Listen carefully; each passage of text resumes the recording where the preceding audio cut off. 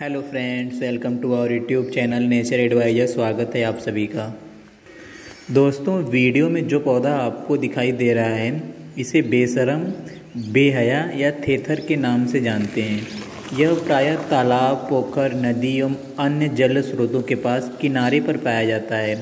यह कठिन से कठिन परिस्थितियों में भी ज़िंदा रह सकता है, इसीलिए इसे बेहया कहते हैं। इसके फूल हल्के गुलाबी रंग के होते हैं, जैसा कि आपको वीडियो में दिखाई दे रहा है। इसके फूल गुलाब जैसे रंग के होते हैं, इसलिए इसे गुलाबसी भी कहते हैं। इस पौधे के बहुत सारे औषधि गुण हैं और यह बेहद काम का पौधा है। गाँव के लोग इसे बाढ़ बनाने में और जलाने में इसका प्रयोग करते हैं। इसका उपयोग जैविक कीटनाशक के रूप में भी किया जाता है। कई ग्रामीण क्षेत्रों में इसकी पत्तियों को नीम की पत्तियों के साथ और धतूरे के साथ एक साथ उबालकर उन्हें आपस में खेत में छिड़काव करने के काम आता है। ऐसा करने से फ़सल की रोग प्रतिरोधक क्षमता बढ़ती है। यह दाद खाज और खुजली में बेहद ही उपयोगी है। इसके लिए बेसरम के फूल को तोड़ लें और इसके डंठल से जो गाढ़ा दूध निकलता है, इसको वहाँ पे लगाना है जहाँ पे दांत खाद या खुजली हुई है। ऐसे स्थान पर लगाने से एक दिन के अंदर अंदर काफ़ी सुधार मिलेगा आपको। इस जो इसकी पत्तियाँ होती हैं, इस पत्तियों को तोड़ने पे जो दूध निकलता है तो अगर शरीर में कहीं चोट लग जाए तो वहाँ पे ये दूध लगाने से घाव जल्दी भर जाता है। इस पौधे को इंग्लिश में मार्निंग ग्लोरी कहते हैं। पीलिया के मरीजों को इस पौधे का रस गन्ने के जूस के साथ मिलाकर पीने से पीलिया रोग में जल्दी छुटकारा मिलता है।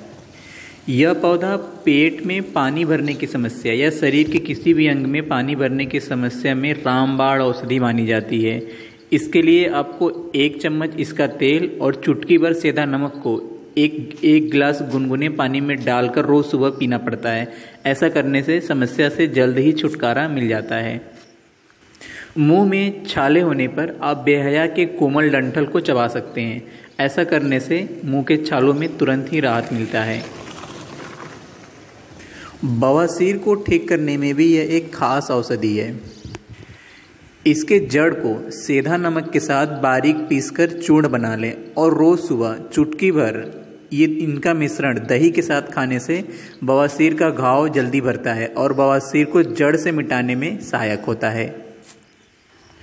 पुरुषों और महिलाओं दोनों को अंदरूनी गुप्त बीमारी, नपुंसकता, धातु रोग, वीर्य, कमज़ोरी, शुक्राणुओं के गड़बड़ी और निसंतान कलंक को दूर करने में इस पौधे का बहुत ही उपयोग किया जाता है।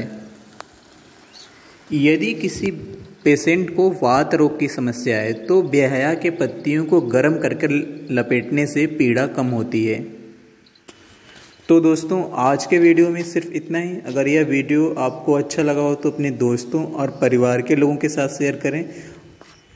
और प्रतिदिन एक जड़ी बूटी की नोटिफिकेशन के लिए बेल आइकन ज़रूर प्रेस कर लें ताकि आपको लेटेस्ट अपडेट मिलता रहे। साथ ही साथ चैनल को सब्सक्राइब करें और वीडियो को शेयर करें। Thank you for watching video guys बहुत बहुत धन्यवाद। Thank you very much